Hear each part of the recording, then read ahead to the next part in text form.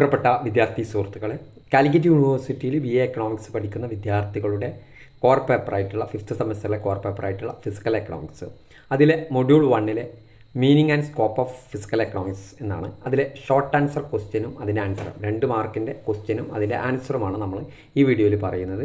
First public finance what is public finance it is a branch of economics that deals with the government revenue and expenditure it is a branch of economics which deals with government revenue and expenditure ഗവൺമെന്റിന്റെ റവന്യൂവും എക്സ്പെൻഡിച്ചറും as well as impact of this activities on the economy ഇത് എങ്ങനെയാണ് ഈ economic അതിലെ impact ഉണ്ടാകുന്നത്? Government ചുമത്തുന്ന tax പോലുള്ള റവന്യൂകൾ ഗവൺമെന്റ് റവന്യൂ ഗവൺമെന്റ് ചിലവഴിക്കുന്ന എക്സ്പെൻഡിച്ചർ ഇതെങ്ങനെയാണ് എക്കോണമിയിൽ impact it involve the study of how government allocate resource to meet their objectives government എങ്ങനെയാണ് റിസോഴ്സ് അലോക്കേറ്റ് ചെയ്യുന്നത്? അവരുടെ ഒബ്ജക്റ്റീവ് മീറ്റ് ചെയ്യുന്നത് such as providing public goods public goods service maintaining infrastructure and manage the overall economic stability എന്ന് പറഞ്ഞാൽ it is the branch of economics that deals with the revenue and expenditure of public authority okay അങ്ങനെയാണ് ഇതിനെ പറയാറുള്ളത്.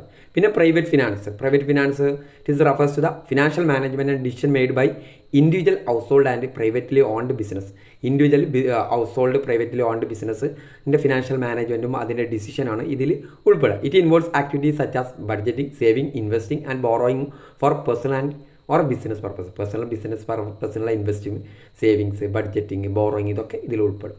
ഇനി public goods ഉണ്ട്.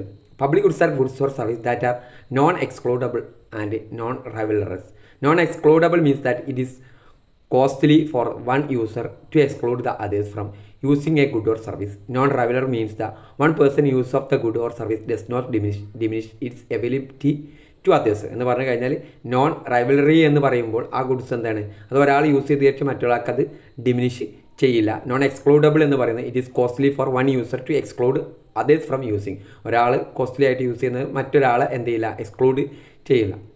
Okay classical example include clean air national defence street light public road ഇതൊക്കെ public goods private goods എന്താണ്? ഇത് opposite of public goods they are both excludable and rival rivalrous എന്ന് പറഞ്ഞു കഴിഞ്ഞാൽ റൈവൽ റൈവലറസ് ആകുമ്പോൾ എന്ന് അതിന്റെ അർത്ഥം എന്താ? ഒരാൾ അത് യൂസ് ചെയ്ത് കഴിഞ്ഞാൽ അത് എന്ത് മറ്റൊരാൾക്ക് യൂസ് ചെയ്യാനില്ല അപ്പോൾ നമ്മളെ നാട്ടിലുള്ള ഒരാൾ പാൻ പാൻ യൂസ് ചെയ്ത് കഴിഞ്ഞാൽ മറ്റൊരാൾക്ക് പാൻ യൂസ് ചെയ്യാൻ കഴിയില്ലല്ലോ. ഓക്കെ ഒരു ഉദാഹരണം പറഞ്ഞതാണ്. Excludable means that it is easy to prevent others from using a good or service excludable പറഞ്ഞാൽ ഒരാൾ യൂസ് ചെയ്തത് എന്ത് മറ്റൊരാളെ പ്രിവെന്റ് ചെയ്യും. Regular means that one person use of good service diminish is availability to others okay food electronics ഇതൊക്കെ എന്താണ്? Private goods ആണ്. Private owned ഗുഡ്സുകളാണ് ഇതെല്ലാം.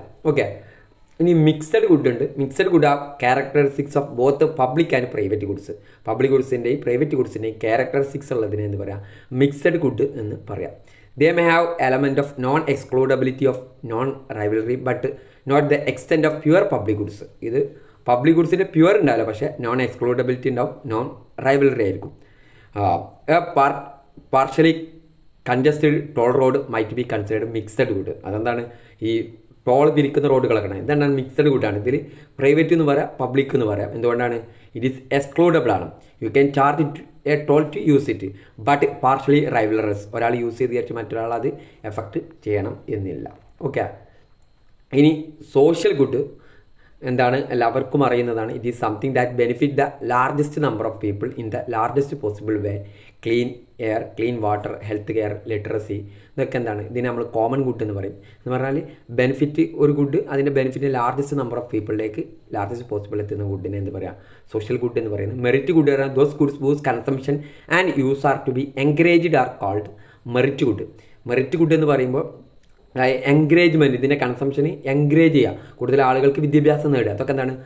മെറിറ്റ് കൂടുക goods whose consumption and use are to be discouraged are called non merit goods or demerit goods non merit goods അല്ലെങ്കിൽ demerits good എന്നാണ് അതിന്റെ use consumption എന്ത് ചെയ്യണം? ഡിസ്ക്രൈബ് ചെയ്യണം എന്ന് പറയുന്ന ഗുഡ്സുകളാണെന്ത് നോൺ മെറിറ്റ് ഗുഡ്സ് എന്ന് പറയുന്നത്.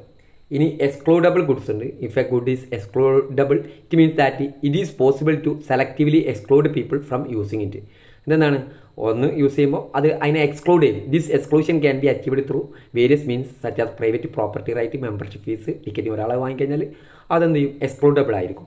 നോൺ റൈവലറി ഇൻ കൺസംഷൻ എന്ന് പറഞ്ഞാൽ it means that consumption of good or service by one individual does not diminish the amount available for others to consume എന്ന് പറഞ്ഞാൽ ഒരാൾ യൂസ് ചെയ്തുകൊണ്ട് മറ്റൊരാൾക്ക് അതിന്റെ അവൈലബിലിറ്റി കുറയില്ല എന്നുള്ളത്.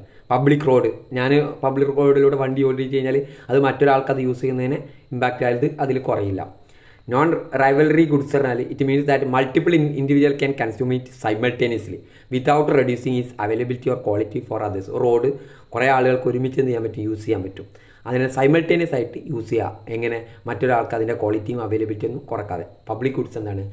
നോൺ റൈവലറി കൺസംഷനാണ് ഇത്ര ഭാഗങ്ങളാണ് നമ്മൾ ഒന്നാമത്തെ മൊഡ്യൂളിൽ നമ്മൾ മനസ്സിലാക്കി വെക്കേണ്ടത്.